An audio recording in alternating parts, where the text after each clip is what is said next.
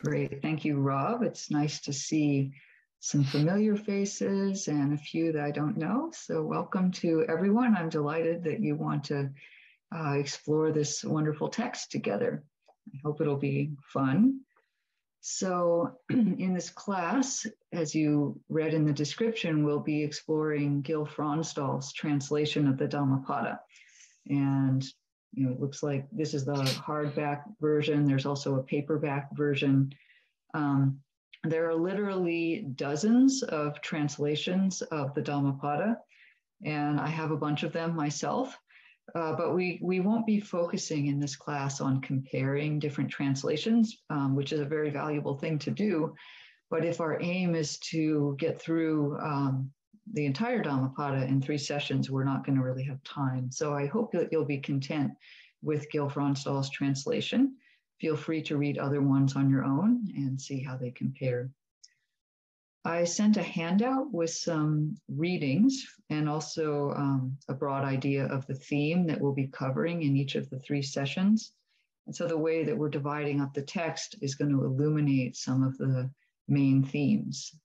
Obviously, with um, the time we have, we're not going to read every single verse together, but um, the, organizing it by themes gives you some additional information about it than you would have gotten perhaps just reading it on your own.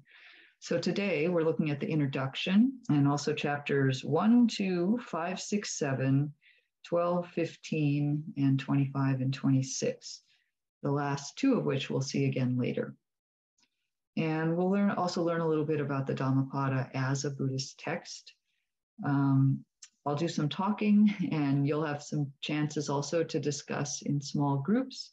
We'll have Q&A and so forth and things will unfold from there. So, and we're going to finish at uh, noon Pacific time. So that makes it a 90 minute session, just so that you know. Um, so the Dhammapada, this, this wonderful text, this text is part of, you know, where is it in the Pali Canon? It's part of the Khuddaka Nikaya, which is the fifth of the Nikayas. There are five. And it's in the this, this last one. The Khuddaka Nikaya means literally the minor discourses, but the texts in there are not minor uh, at all in terms of importance or profundity. So um, the term Dhammapada itself is a little bit hard to translate, as Gil mentions in his introduction, or maybe it's in the preface actually. He says um, that we could translate it maybe as sayings of the Dhamma or verses of the Dhamma or teachings of the Dhamma. He even likes path of Dhamma because the word pada, which means foot, could also mean path by extension. So um, there's a so we can maybe we'll just leave it untranslated as the Dhammapada. And there are several extant versions of this text, including three of them in Pali, as well as some in other Buddhist traditions. Um, and this doesn't, you know, they're slightly different, but it doesn't really, that doesn't cast doubt on its veracity or, you know, um, yeah, utility. Instead, it's, it's actually quite normal that we have multiple versions of a given Buddhist text. If you haven't um, looked much at the you know the the study of texts in a Buddhist Buddhist studies kind of sense, you may not be aware of that, but there are usually multiple versions of things. And uh, Thanissaro Bhikkhu, who has researched many of the different versions of the Dhammapada that we have, uh, he says that most of the differences are pretty mild. Um, so the Dhammapada is often seen as a kind of an introduction to Buddhist ideas because it has a lot of the basic concepts spread throughout it. Um, but it's definitely not totally for beginners. It includes pretty deep teachings, and it also assumes some understanding of the structure of, of Buddhist teachings. You know, because it's a verse text, it doesn't have prose that explains things. And so um, there is some assumption that you'll know uh, what it means when it says aggregates or arahant or you know um, some of the other terminology So if there's any term that you don't understand, um, you can ask during class and we'll clear that up, but it does refer to uh, typical Buddhist concepts. It also includes in some of the verses some quite clever wordplay, you know, puns basically, that are hard to translate into English, and also some fairly nuanced language. So all of that adds up to me that it's um, it goes a little bit beyond the kind of straightforwardness that you'd expect from a truly beginner's text um, something that serves as an introduction. So i think the dhammapada is really for everyone and we'll you know we'll see as we go along. So the text consists of 423 verses in 26 chapters centered on various themes but within each chapter, you'll see, maybe you've already seen if you did the, the reading for today, that the verses are a little bit mixed. You know, sometimes they refer to practice early on the path, right next to a verse that's about awakening or advanced practice. And they don't necessarily proceed linearly throughout a, a chapter on a given topic. But, you know, that kind of a kind of a systematic exposition of a topic is probably not something that we would expect from a, a, a verse text like this one. So it's not really the point of it either, of a text like the Dhammapada. So I would encourage you to set aside any ideas that what we're going to see is a nice linear exposition of each of the chapter titles, each of those topics. And then finally, I want to highlight that the Dhammapada is one of the most beloved texts of the Pali Canon you know, long people who haven't even delved into the Majjhima Nikaya or the Samyutta Nikaya may have read the Dhammapada. It's um, well known, it's loved, it's often studied by Buddhists worldwide, and for sure it has inspired countless practitioners on their path. And now is our chance. Now's our chance to to partake of that. So I want to spend a little bit of time here at the beginning talking through some of the main themes that Gil highlights in his introduction, if you read that.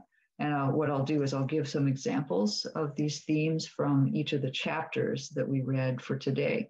Of course, there are examples spread throughout all the other chapters also, but I'm just um, wanting to keep us within the range today that we were that, that we were reading. So the first theme I want to highlight is that contrasts are important in the Dhammapada. Um, so the contrasts of what is useful and what is not, uh, the fool and the sage. You know, we read two chapters about that today. Um, what Gil calls, uh, what, what the text calls uh, punya and papa, which is translated as merit and evil. He says something in the introduction about his choice of that, that word for translation. And then there are various paired chapters that contrast. So, um, you know, what about these contrasts? Why are they being set up? Um, partly as a guide on our practice path so that we know which way to go. Is it toward or away from suffering? And also, it highlights the, um, the role of wisdom as discernment. Wisdom is the quality in our mind that discerns what is useful and what is not, what is skillful and what is not, what is going towards suffering and what is going away from suffering. That function is performed by wisdom. So, so this is really a text that highlights also how we can cultivate wisdom in some very specific ways.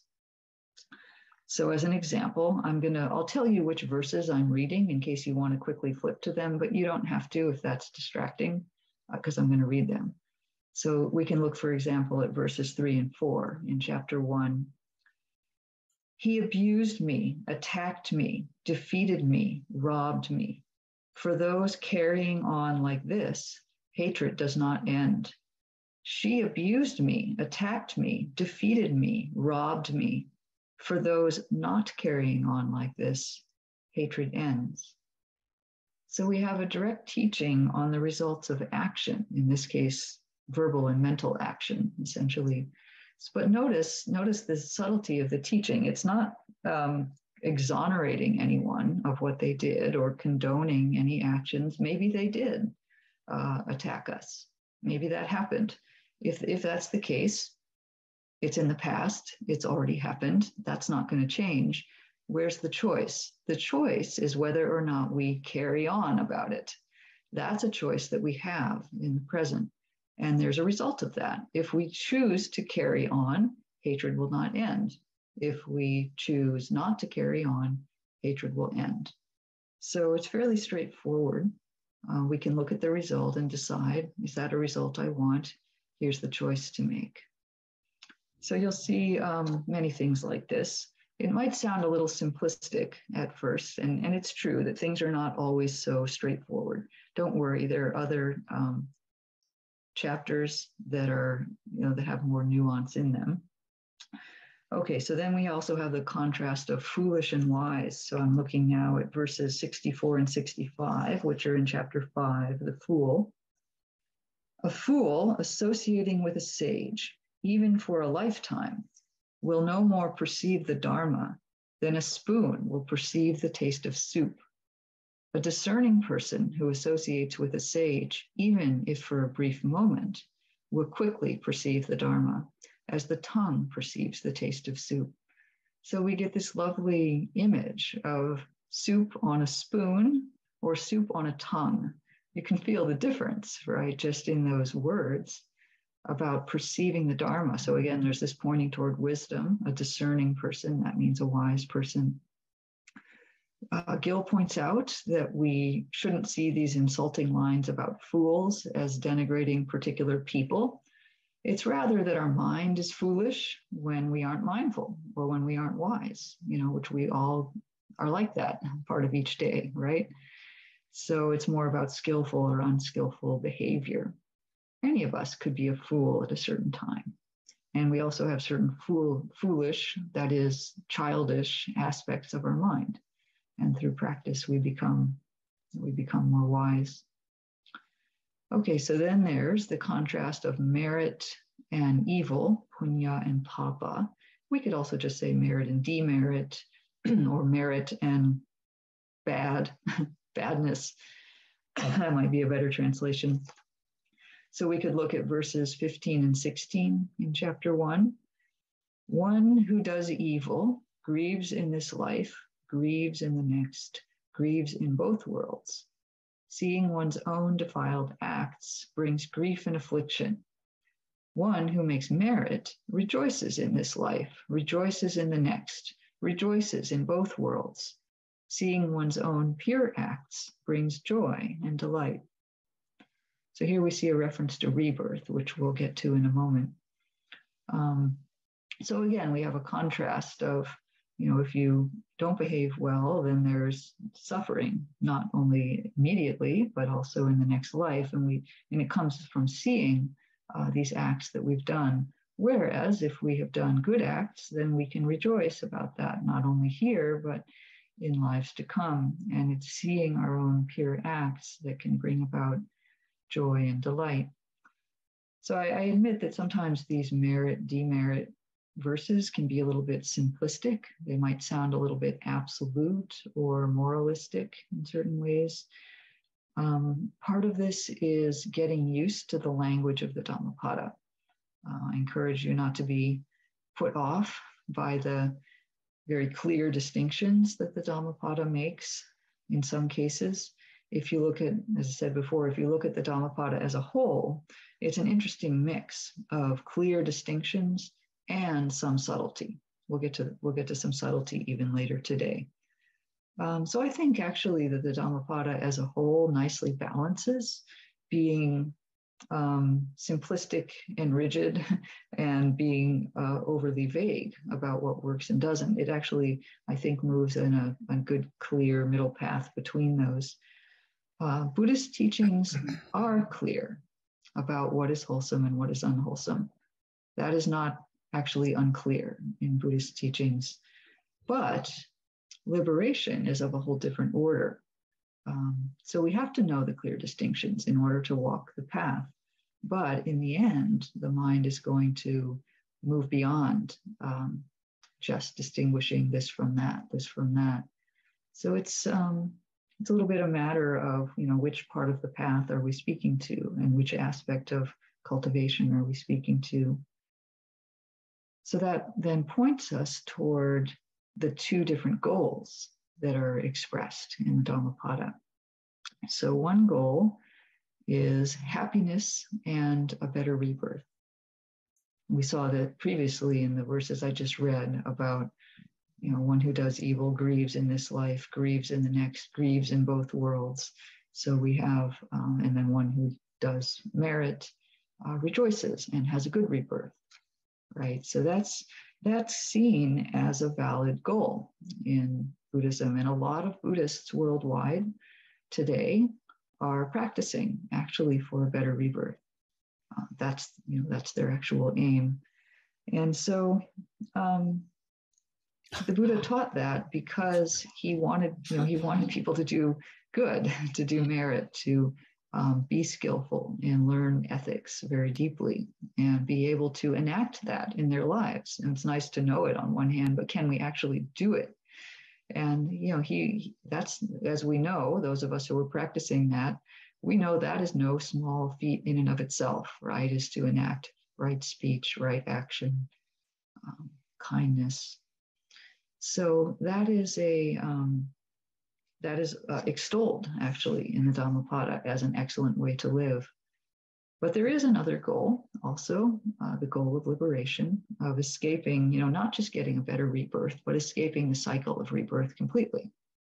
As a friend of mine said recently, exiting the premises. so that can also be a, a, valid goal. And if I, there's lots and lots of examples of this, but if um, I wanted to pick one from our readings for this week, we see it in chapter 7, the Arahant. So, verse 97. The person who has gone beyond faith knows the unmade, has severed the link, destroyed the potential for rebirth, and eliminated clinging, is the ultimate person. So, this verse is clearly extolling the wish to become an arahant, who is someone who has uh, become liberated, fully awakened, will not be reborn. So, my understanding of this is that it means that everybody who's reading the Dhammapada can find a path. Everybody can find something that's inspiring for them and find a way to practice from reading these verses. Um, then we come to two issues for modern readers to consider. Um, one of them is that uh, the the Dhammapada does have a clear emphasis on renunciation, on solitude, on monasticism.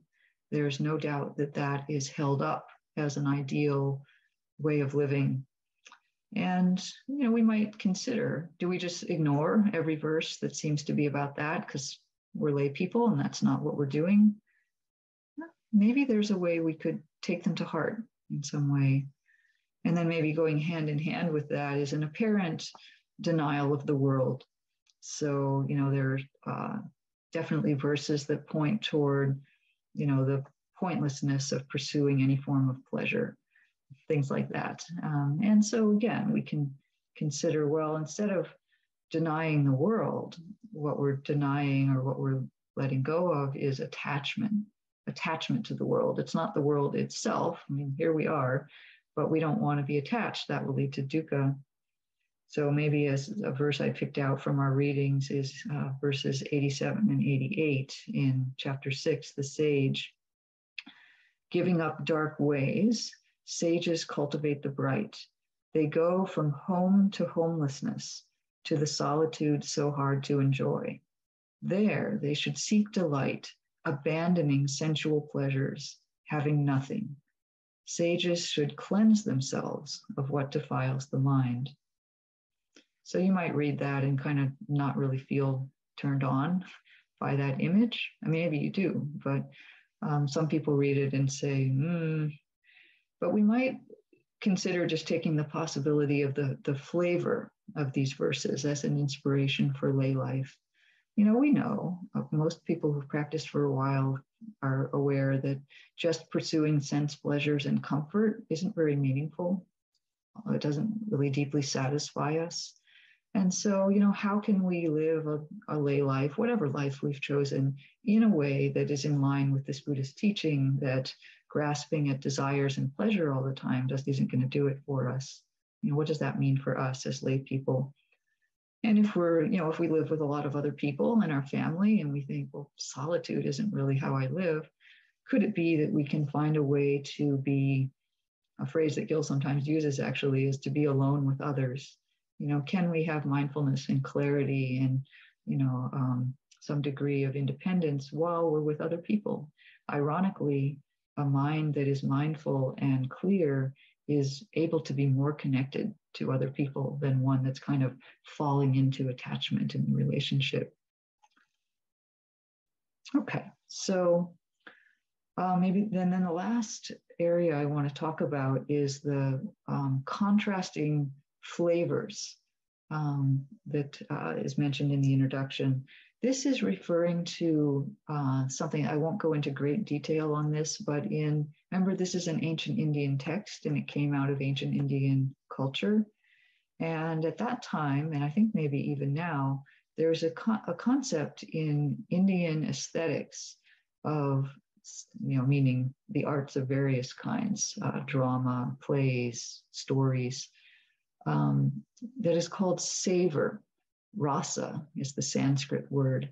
And there's an idea that there's a, a, given set of savors, their emotion, emotional tones, essentially, that the piece is meant to evoke in us, is meant to touch in us or speak to in some way. You know, they're kind of emotions of the human conditions, like we would see them in the Greek plays, also, for example. And um, the idea is that you would have one main one and then a contrasting one that plays off of it to show the complexity of being human. And so that's my super top level summary of that. I'm someone who's a scholar in it, I hope wouldn't wince too much, but would have much more to say. Um, but the contrasting flavors that we see in the Dhammapada, a work of literature from that time, one of them is energy, virya, also called the heroic flavor. Um, and then the other is peace, santi. Uh, you may have heard the word, the Sanskrit version of that word, shanti, meaning peace. So Pali would be santi. So we have virya and santi.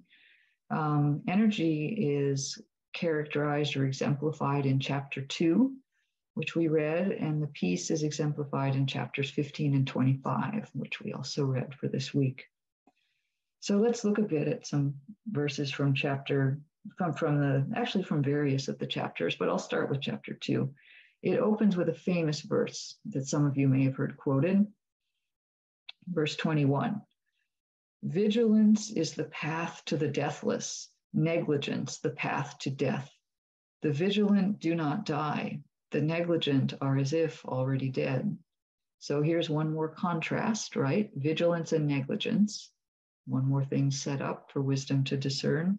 And there's some stark language there that is, you know, partially metaphorical, um, you know, we can see the relative deadness of being unmindful. You know, if somebody is very distracted, if you're when your mind is distracted, not connected to the present moment, not really paying that much attention, we all go through moments like that every day. Isn't there a kind of deadness to the mind compared to moments when you're feeling bright, mindful, aware, connected, present. There's a there's an aliveness there. So that I think is what's being pointed to here. Um, we might also look at verse 25, also in chapter 2. Through effort, vigilance, restraint, and self control, the wise person can become an island no flood will overwhelm. So you really see the point, the clear pointing here to you know, energy, heroism, um, vigilance, restraint, effort. And, you know, we don't emphasize this as Dharma teachers in the West too much because you may have noticed that some of us are a little bit predisposed toward over striving. Um, but we can't, if we read Buddhist teachings, we really can't ignore that this is a theme, um, particularly in the Dhammapada, but really across all the texts, is that the Buddha encouraged really clear effort to be present, to be mindful, to um, investigate experience, and so forth. Um, I would say that we also see some encouragement uh, toward effort in chapter 12, uh, which is called oneself, uh, in, in the sense where we're asked to really take responsibility for our actions and hence our own happiness. So I want to read a couple from there too. So, verse 157 from chapter 12 If one knew oneself to be precious, one would guard oneself with care. The sage will watch over herself in any part of the night. So we have this sense of uh, vigilance and guarding ourselves. It means guarding the sense doors with care. Because we care about ourselves, we are mindful in order that um, our mind doesn't get overtaken. Like the previous verse said, will, our mind can become an island that no flood can overwhelm. And why do we do that? Because we know ourselves to be precious. We care about our own heart, our own state of mind. And so we make effort um, to keep the mind in a wholesome state. We also see in verse 160 one indeed is one's own protector.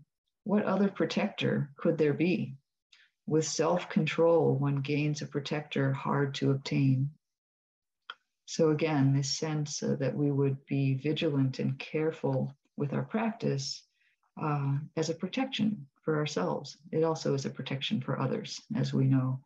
But of course, in the chapter on oneself, it's emphasizing toward ourselves. Okay, so that, let me turn then to the second of the savors, um, the savor of peace, Santi.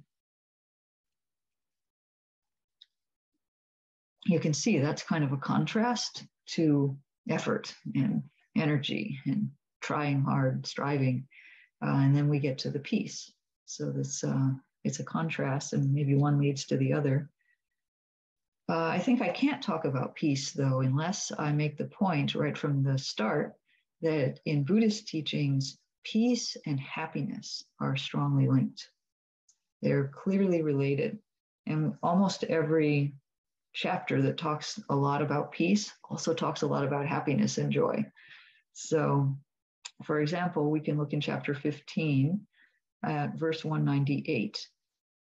Ah, so happily we live without misery among those in misery. Among people in misery, we live without misery. So there's a sense of this happiness that just comes from within, this ability to be at peace in a world that is not not at peace, not happy, maybe miserable. There are some similar verses that talk about anger and I think um, ambition that are of a similar flavor. And then we also have verse 201 Victory gives birth to hate. The defeated sleep in anguish. Giving up both victory and defeat, those who have attained peace sleep happily. So here we have a contrast again between victory and defeat, but it's not a simplistic contrast, right? Where this is the good one, this is the bad one. It says giving up both victory and defeat. So here we get our first flavor of some of the nuance that we have in the Dhammapada. If you try to read that literally, you might say, what does that even mean to give up both victory and defeat? You stop playing the game. And that is what the state of peace is about, is stopping to play those games. So we see that there's um, a movement from from looking at contrast, which one is better, this one is good, this one is bad, to the possibility of releasing that kind of mindset. And that's what maybe what the peace is about. And it's linked, of course, to happiness. So awakening helps us step out of these distinctions in some ways. And then I want to mention also some from chapter 25, because remember 15 and 25 are the ones that kind of most exemplify Santi. Uh, verse 373, chapter 25, the bhikkhu. That means monk, by the way, but it could also just mean a serious practitioner. So we were being spoken to there also. For a bhikkhu with a peaceful mind who enters an empty dwelling and clearly sees the true Dharma there is superhuman joy. Wow. So, uh, this is for a practitioner who reaches any of the stages of awakening. But it could be speaking to us. And then verse 381 a bhikkhu filled with delight and pleased with the Buddha's teachings attains happiness, the stilling of formations, the state of peace. So it's interesting that he says attains happiness, but then the stilling of formations and the state of peace, those are descriptions of nibbana, of freedom, of complete awakening. So that's the highest happiness. So again, we have peace and happiness relatively inseparable. Um, yeah. So I think I will um, pause there as this is kind of going over, we've gone over all the ideas that Gil introduces in the introduction and linked to them to verses that were in our readings for today. And at this point, I wonder if you have questions, either about what we've talked about, the you know the main ideas that Gil highlights as being important in the Dhammapada, or uh, other verses from our reading that um, you might have questions about.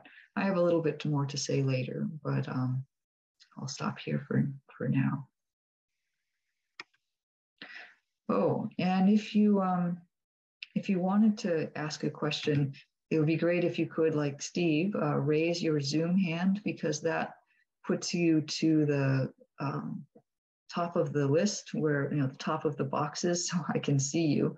And please keep your hand up while you're talking in order that um, you don't disappear.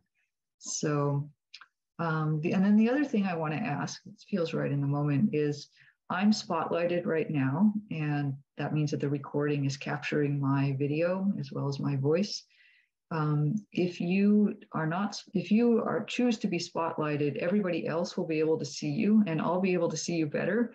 But you'll also be recorded on the video, so you have a choice. Um, if when I call on you, if you want to be spotlighted, or if or if you don't.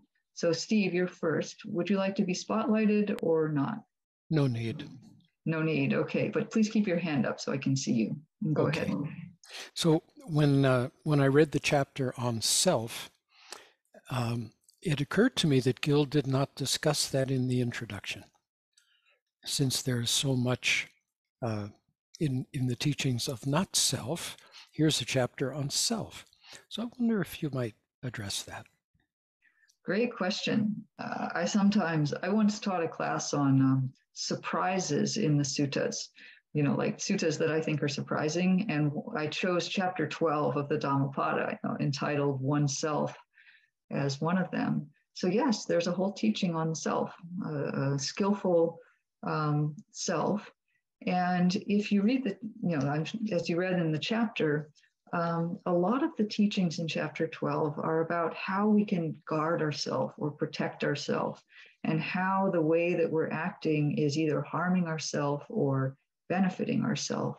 So these are teachings that are in the, um, you know, the realm of skillful behavior, skillful action, and how to uh, use our sense of ourself as a being who matters in the world uh, as a means of walking the path, you know, caring about ourselves and cleaning up our mind and our heart.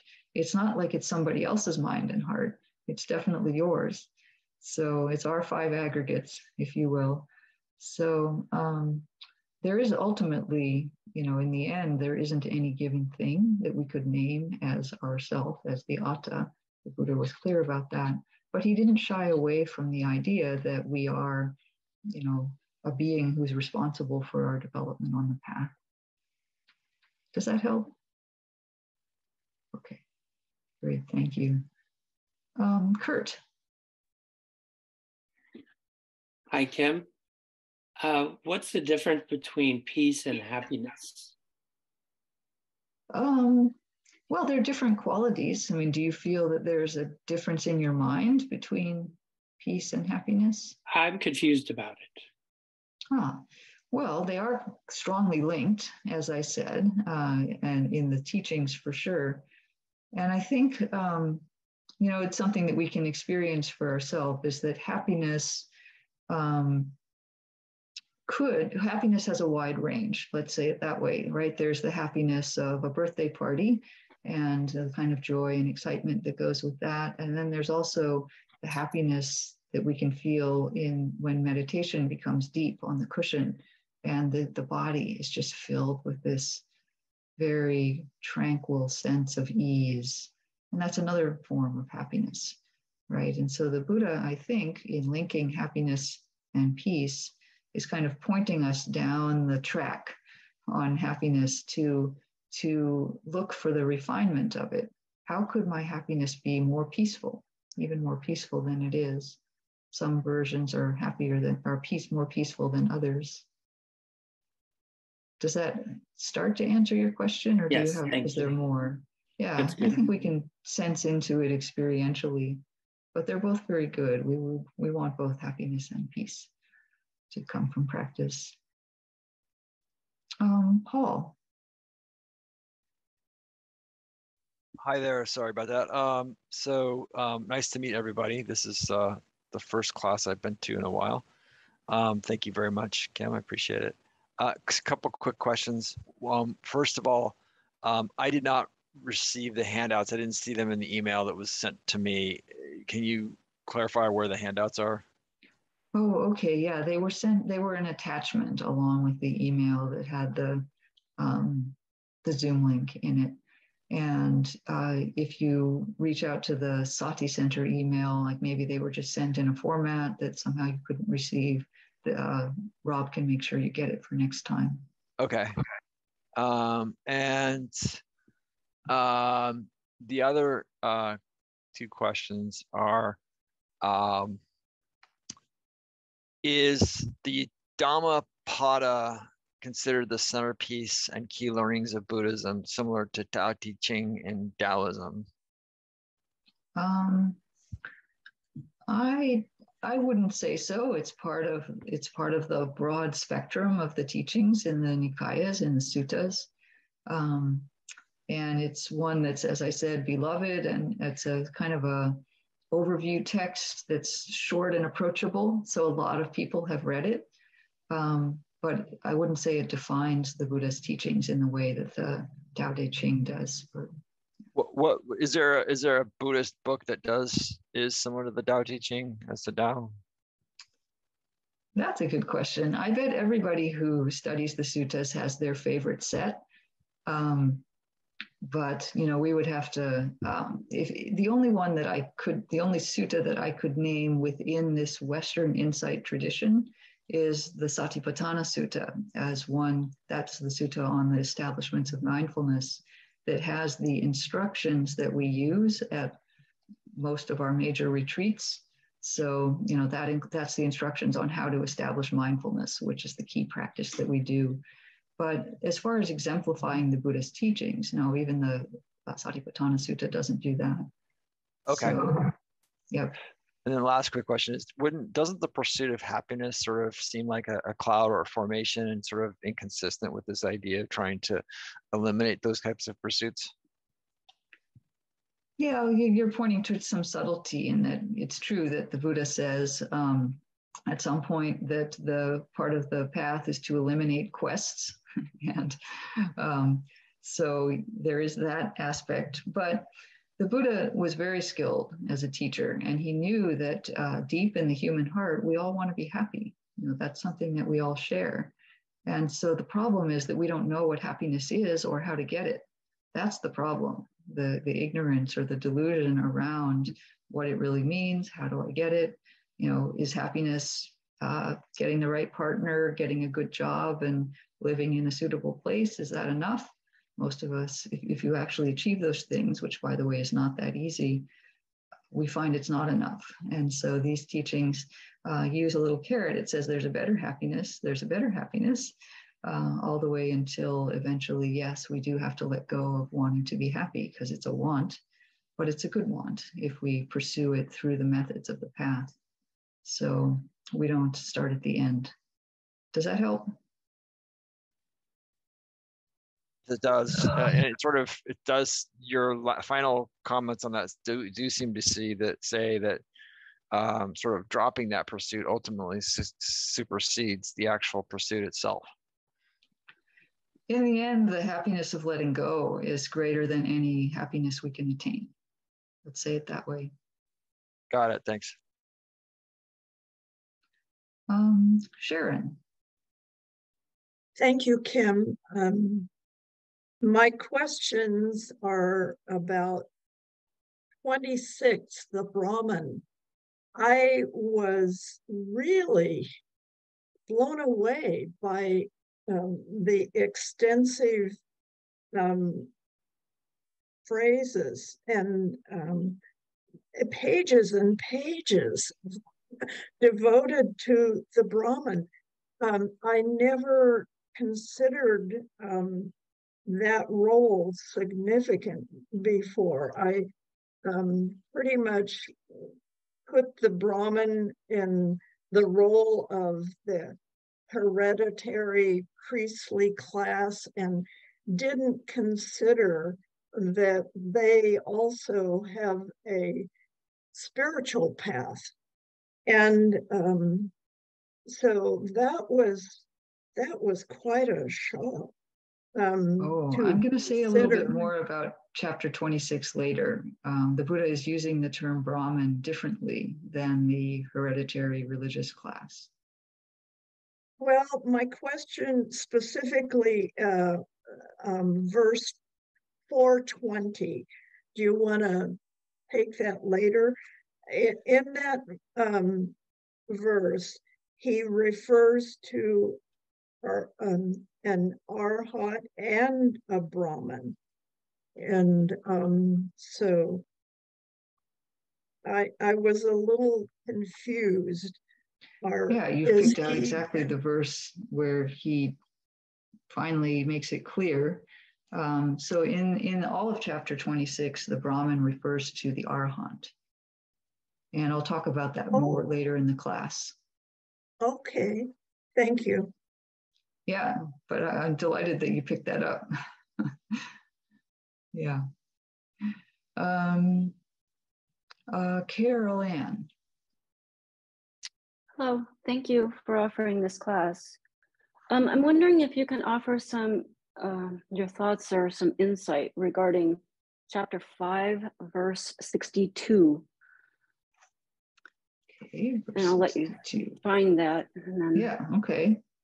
Oh, a fool um, suffers, yes. Yeah, a fool suffers thinking, I have children, I have wealth. Oneself is not even one's own how then are children? How then is wealth?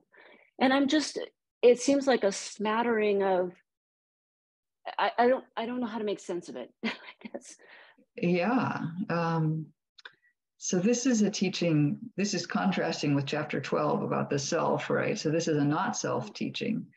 And he's pointing quite directly to um, uh, this is maybe in that realm where Gil says it sounds like a denial of the world. You know, it sounds like, you know, it's saying that you shouldn't enjoy your children or your wealth or something like that. Those are not a valid form of happiness.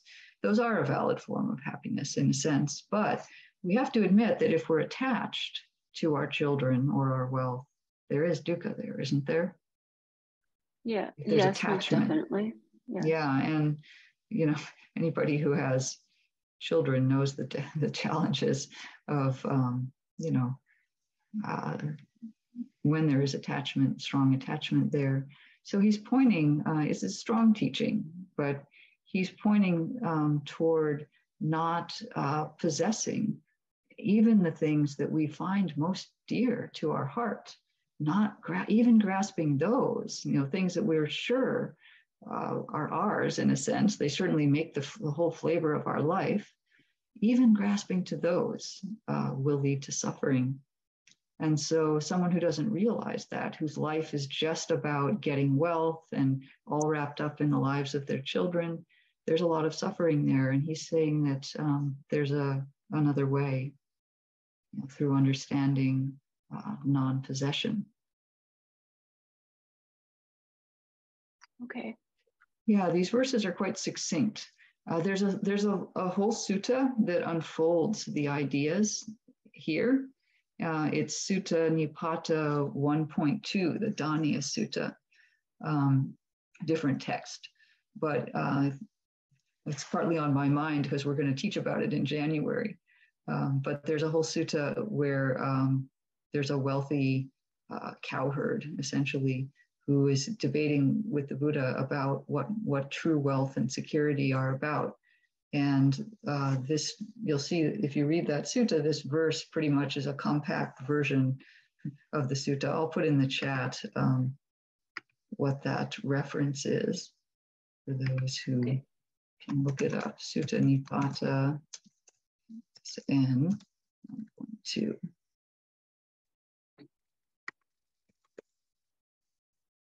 Thank you. Mm-hmm. You're welcome. Um, we'll have Alex and then Eileen. And that'll be it for now. All right. Hi, Kim. I appreciate the uh, opportunity to talk. I think this is a lot of fun. Um, my question um, has to do with uh, the idea you mentioned, or from the Dhammapada, of the mind becoming an island that no flood can overcome. And when I'm hearing you, you talk about that made, or made me uh, think back to something Gil um, lectured on in one of his uh, morning sittings um, about having a mind like an open house, and which is which sounds like a, a bit of a contrast. But I, I think I, I have some idea of what that they're that they don't really conflict. Those two ideas don't really conflict with each other uh, with each other. But I was hoping to hear you talk about that to some degree. Do you mean his um, use of uh, the mind as an open house as an analogy for mindfulness? Yeah, and I think uh, I think uh, the distinction is um, that um, my, the way I understand it, and please correct me if I if I'm looking at it in the wrong way, but um, that so you know you can have a mind like an open house but be guarded in the sense of keeping an eye out both externally and internally for the three poisons as they're called you know and yeah. like and like being mindful of that when they arise and if you can do so both internally and externally then you're you're okay right what what we want is a mind that can't be overwhelmed right yeah. so when things happen you know maybe something very beautiful or something very terrible comes into our visual field, we don't get overwhelmed by that and reactive to it in some way. So I think it's actually pointing to the same idea is the um, the, the image of a flood uh, is a specific image in Buddhism of the flood of sensuality, the flood of becoming, and the flood of ignorance. Um, there's actually a, a, list of the floods, but we could say greed, hatred, and delusion. Those are the poisons, but it, it's a, a, similar list, yeah. you know, list of problems of the mind. And we want a mind that's strong through what? Vigilance and mindfulness, a mind that's strong enough that it can't be knocked over easily by these things. Good All right, question. thank you. Yep. Okay, Eileen, and then then we'll move on and thank you for the offering. Um, I'm really glad that you read uh, verse 201. Okay. Um, Eileen, I can't hear you very well. I heard verse 201. Can you get any closer? Yeah, can you hear me better now? Yeah, that's better. Thank you. Okay. All right, so verse 201, you know, with the elections coming up, my thinking is it would be a really good idea to master giving up both victory and defeat yeah. And so I'm wondering, you know, I'm kind of thinking about that in my head. Am I giving up the expectation of an outcome? Am I giving up um, being invested in the outcome? What do I need to let go so I can sleep peacefully on Tuesday night? That's wow, great question. practical question. Yeah. So um, this verse, I think I think the way you're framing it, we could say it has a couple different levels. And maybe one level is um, true equanimity. So I don't mean equanimity like I don't care. Um, true equanimity allows us to care about things, but accept that conditions are not in our control. So we do our best and then accept how things actually are without any dukkha, you know, because the conditions are as they are. So that's one way to let go of victory and defeat is to just um, be able to acknowledge the reality as something that came about through multiple conditions and you know, that was how it, that's how it is. So that the people who are very equanimous can act in the world, but not get stuck on whether or not they succeeded or failed. So that's one level. And then uh, another level would be um, more the ultimate level where the concepts of victory and defeat um, are not relevant to an arahant. There's no, because there's no person who could win or lose. So it doesn't, it's not a meaningful distinction. And that's a different level. So does that make sense in some way? In a practical yes, sense, yeah, you asked does. about Tuesday night. Really, How does that land yeah. for you for Tuesday night? Well, um, I'm going to do a lot of practicing around equanimity. Yeah, I think the because I don't think I'm an arahant yet. So no, I just want it to be complete. Yes, yes, for for Tuesday we have multiple conditions. We're not in control. We've done our best, and the world will the conditions will unfold naturally as as naturally as dropping this pen. It's going to fall because of gravity. All right. It'll be as it is. Thank you so much, Kim. Okay, thank you for all the good questions. I wanted to, um, uh, yeah, I'm glad to hear all those. So let's go ahead now with some small group discussion. Um, for those of you who are saying, oh no, I hate small group discussion, it'll be pretty short. um, and some of you may be uh, looking forward to it. So we will have groups of three or four. Um, and when you get into your group, I think we'll give, let's see, you can just have a discussion among yourselves and we'll say uh, 10 minutes in the group. And the question for you to consider, and I'll put it in the chat also, is how do you re- relate to the flavors, as they were called, of energy and peace in the text? Do you feel different tones, kind of different emotional tones from the energy and the peace? And how does your heart respond to each one of those. Okay, so I think that is everybody coming back. Thank you. I hope you had a good discussion. And I realize we didn't have the timer on there, but it was actually 10 minutes. So um, I was hoping that some people might have uh, a couple comments to share about how that was for you or any wisdom that may have come up from your group. I see Michael, your hand is raised. Did you have a comment? Yes, thank you, Kim. Uh, in our group, uh, the question of uh, the difference between calm and peace was kind of ambiguous. Can you speak to that? Hmm, calm and peace. Yeah, they're similar. Um,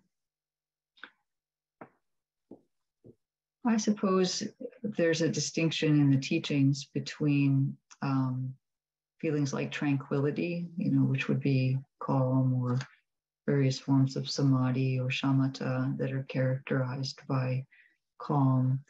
And then um, peace uh, might be a synonym for that, but there can also be the peace that um, is pointed to in by you know nibbana as peace, and that um, is not characterized by particular qualities that we would point to. So I think, though, in this in the terms of the Dhammapada, we could say that uh, calm and peace are very much similar. What came out in your discussion? Anything else besides them being vague? Well, uh, one thing that uh, one of the uh, participants brought up that I thought was spot on was um, uh, relating these um, verses, um, or rather, um, attaining peace uh, through the seven factors of enlightenment, uh, what's required, mindfulness, and then the word you use, energy, that leads to tranquility and joy. And mm-hmm eventually concentration and equanimity. So that seems to fit quite well, or did in our discussion. So, yeah, I would agree. There's the, the calm of tranquility and concentration, and then there's um, Nibbana has a, is, is a, a, a different dimension, let's say, awakening. Great. Um, Steve. In our group, uh, it's very interesting point came up as to whether or not the Buddha was being judgmental in talking about fools and about uh, bad behavior and things like this. And I can uh, I can see that that kind of um, perception is easy because of uh, language. Um, and we were talking about whether it was pointing to character or whether it was pointing to behavior and the consequences of behavior. So, with, could you uh, just talk about that a little? Yeah, I think Gil mentions it too in the introduction. He says it points to actions, to behavior. It's about skillful and unskillful. Um, and yes, in modern psychology, we worry a lot about judgmentalism because it can be done unskillfully. But um, when you look in terms of the results of action, uh, it's clear that some things lead to suffering and some things lead away from suffering. That's an important distinction to be able to make if you're going to walk the path. So um, there's judiciousness and there's judgmentalism, and it's good to know the difference between them. Uh, Maria, and that'll be the last one for now. Hi. Uh, we weren't, uh, our group wasn't quite sure if there was a specific passage that we were supposed to be looking at, but we had a, a, a nice discussion about the um, whether peacefulness and um, and uh, uh, the the sorry the energy right was it um, could they coexist basically mm-hmm. Um, and we ended up talking a little bit about how one can maybe lead to being peaceful, can maybe lead to having more energy or more positive energy to invest in something in the real world, or um, that being peaceful could be um, the reduction of that kind of agitation or negative energy, I guess. So, not a specific question, just some highlights from our discussion. I love that. They are meant to be um, things that complement each other in a sense, and they could coexist and they maybe puri- purify each other also. So I think your your group's discussion highlighted all of those different dimensions. It sounds sounds quite beautiful. Thank you. Nice. Yeah. Okay. Well then, um, let's uh, let's actually sit for a few minutes because um, I'm going to do a short guided meditation and drop in some verses so that we can experience uh, these teachings in a somewhat different mode, right? We've read them maybe by ourselves. We heard um, me talk about them and read some of them. You talked about them in a small group. You can also experience these verses through the meditative mind. So it'll just be brief, but um, please take a posture where you can sit for a few minutes. Um, be comfortable, no need to change too much. Just find a comfortable place. And if it's okay for you, you could close your eyes. Otherwise, it can just be gently open. And just allowing your attention to come inward, bringing it, pulling it back from the screen, just into your body, finding the body. Perhaps bringing the attention to the place where you're sitting, your seat against the chair, perhaps, maybe your feet are against the floor. So, what is supporting you? Bringing your attention there.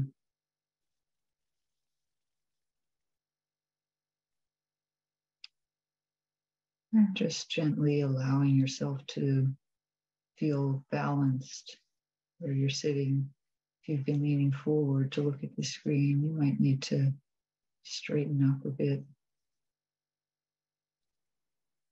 Using fewer muscles to hold yourself up.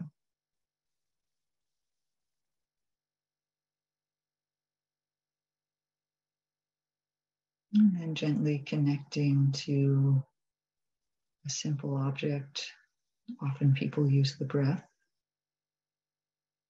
But if that doesn't work for you, you can use sound, the environment, just the natural background sounds around you, just to rest the mind on something simple.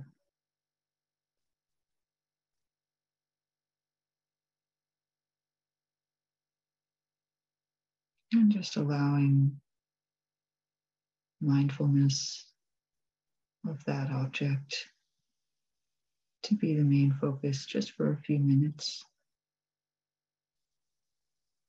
Letting thoughts or other things go more into the background.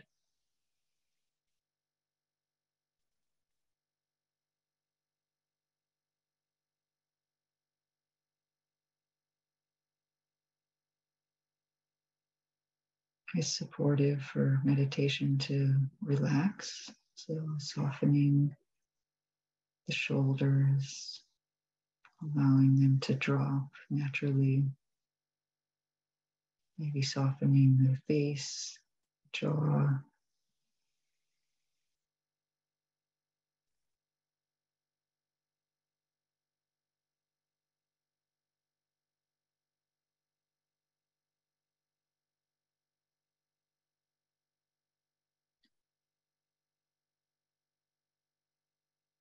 softening down through the chest area, the belly.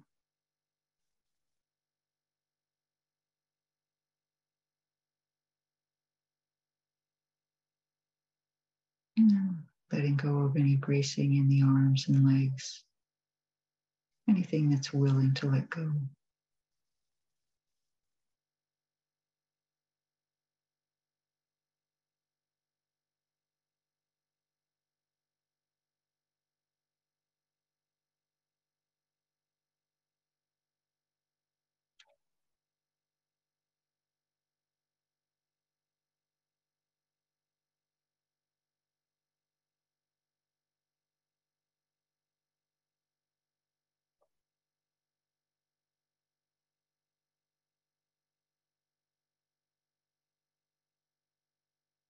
I'm just going to read two verses. You can just let the words drop in the way we would drop a stone into a well, perhaps.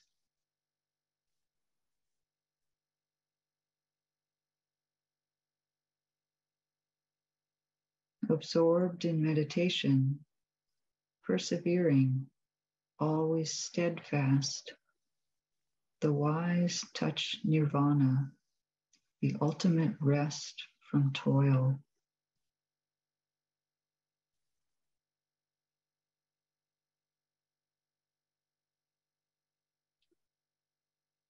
Tasting the flavor of solitude and peace one becomes free of distress, drinking the flavor of Dharma joy.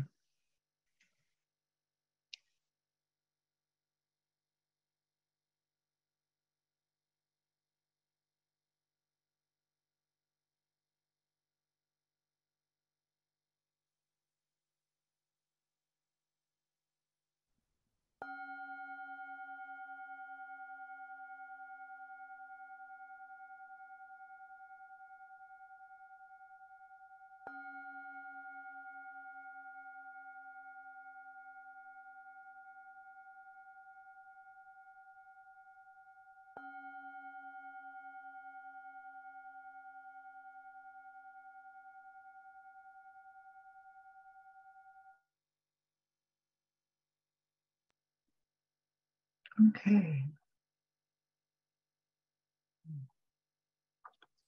So I'd like to now say just a bit more about the readings for today and also a bit about how to approach reading suttas in general and verses in particular. So we haven't yet said anything about chapter 26 officially, although we had a perfect question earlier from Sharon about, about it. So this is the chapter that's called the Brahman. And it brings together many of the themes that are throughout the Dhammapada. And it's a long chapter, I know. And it kind of um, it, it brings them together in a particular way through the Buddha's definition of a Brahman. And just to familiarize you with the word, I know some of you know it, but uh, the Brahmins were the hereditary religious class in ancient Indian society. And the Buddha was from a different class called the Khattiyas. They were more the aristocrats or the warriors, and they were the governmental figures.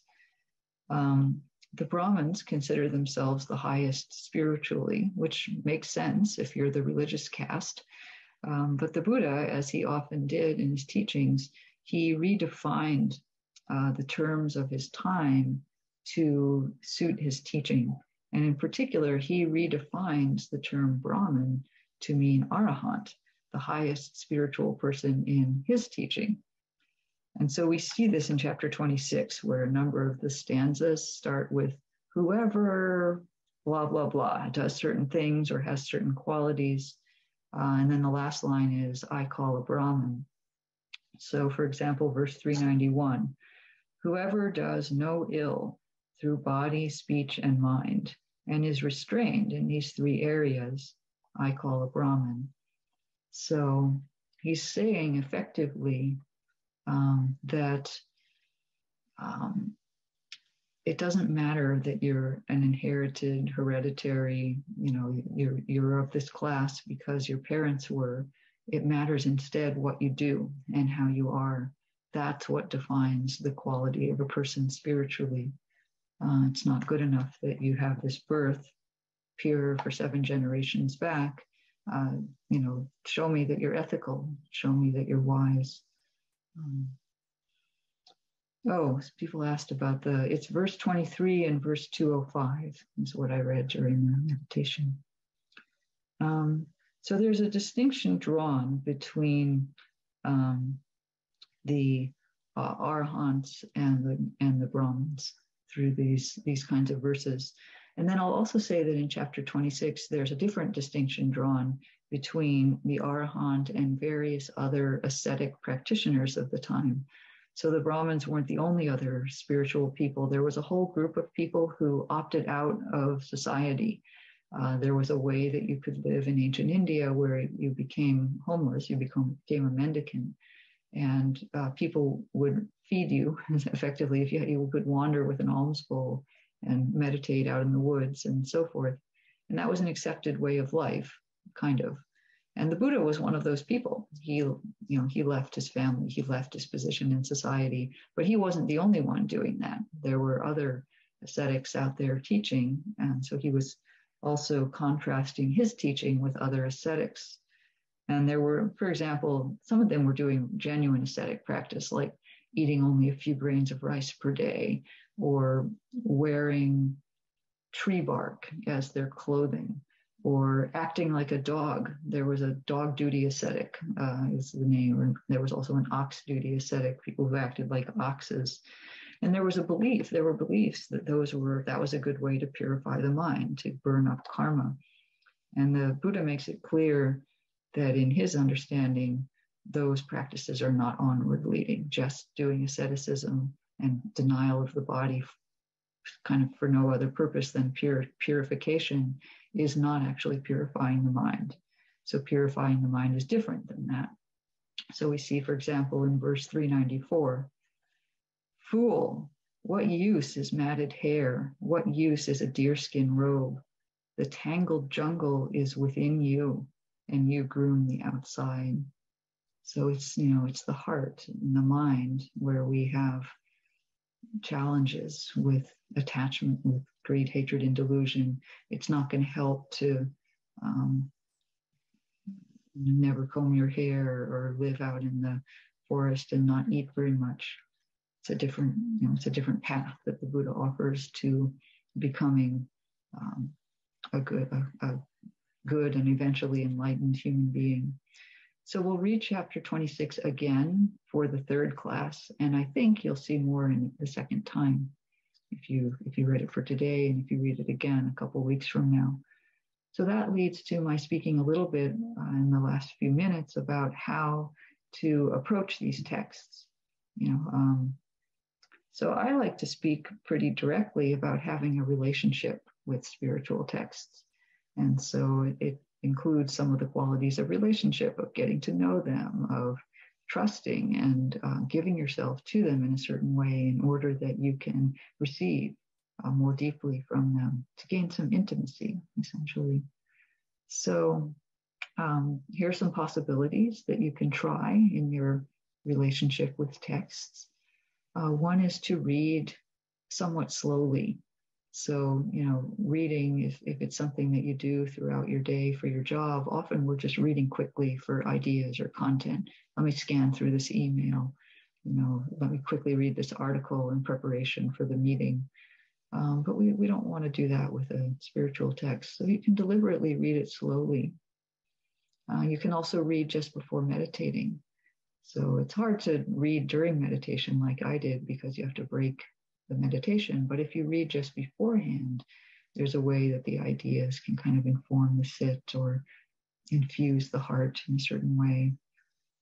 Uh, you can also read through, and may, maybe you had this experience if you did the reading before this class, is that certain verses kind of catch in your mind and you say, oh, that's an interesting one. Well, if that happens, great. Um, uh, carry that verse around with you for the day. Maybe you read in the morning and the one that catches your eye, just jot it down and read it a few times throughout your day and see how it might interact with your mind during the day.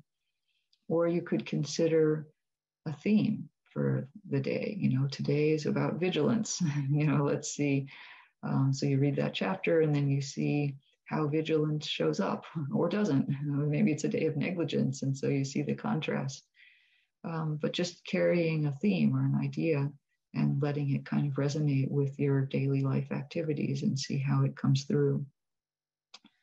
And then another thing I, I do sometimes is I reread a certain chapter several times with a gap in between. So, you know, I'll read it one morning and then I'll read it two days from now, and then I'll read it over the weekend, you know, and, and each time we see how it strikes us differently. And you'll see that, it, wait a minute, I, I read this, this is the third time I'm reading this chapter, and I don't think I even saw this stanza until today. You know, it's like um, different things stand out at different times. So I encourage you to um, explore, play around with these verses. They're short and sweet. So it's um, you can do this with prose suttas also, these all these various techniques, but the verses are particularly nice and approachable for that. Um, good. Also, let me say a little bit about uh, uh, what to do for next week. So you'll have another set of verses of chapters to read. I think the whole thing was in that handout, but in case you didn't get it, make sure you do. And there's a, so there's another set of chapters to read for next week. And I also would like, if you remember, to come prepared with two verses. One verse that you found particularly inspiring. And then, second, a verse that you found puzzling in a dharmic way. So something that catches your interest and you wonder about how it plays out in practice, or you wonder what it means dharmically, something like that. So one that you find inspiring and one that you find dharmically puzzling. And maybe try out some of these ways to interact with the texts. Um, so we have a couple minutes. If there is any last questions or something that would help you feel complete, Okay, there's Chris. Hi. Oh, I need something to make me feel complete this morning. I figured that out. Maybe I'll figure it out this afternoon. I just was an offer out. There's a whole bunch of uh, reciting of the Dhammapada on YouTube from various teachers. If people want to just listen to it. it, I've been actually enjoying listening to it. And then also, I spent a lot of time on Wikipedia this morning looking up Brahmin, and there's a quite a long historical discussion of what time, what the Brahmins were doing, depending on what era in India. So I just want to offer that out if people want to read that. Thanks. Thank you, Chris, and thank you for pointing toward the um, recordings. There are a number of them, and I encourage you to listen to a variety if you if you want. On the IMC website, which is insightmeditationcenter.org, uh, Gil uh, reads this text actually. So there's, if you want this this particular translation read, you can look there also. Thank you. and then uh, Steve.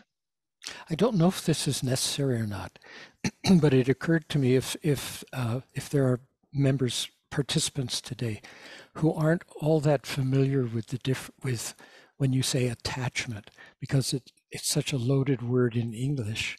We think, well, what does it mean? I shouldn't be attached to my kids, kind of thing. Between that, that that it refers to clinging. It's not. It's not that we shouldn't enjoy, but the clinging piece, and we don't use that word so much. But if that's if that's important, if you think that's important, maybe just mention. Oh, okay. Yeah. Of course, this is not about attachment theory and psychology. Um, in Buddhism, attachment is generally not healthy. It's a it's a grasping or a clinging or a uh, unhealthy kind of um, gripping. We can feel how it has that contraction to it. Okay, good. Well, enjoy your week. Thank you so much for being here today. And um, I will look forward to seeing you same time next week.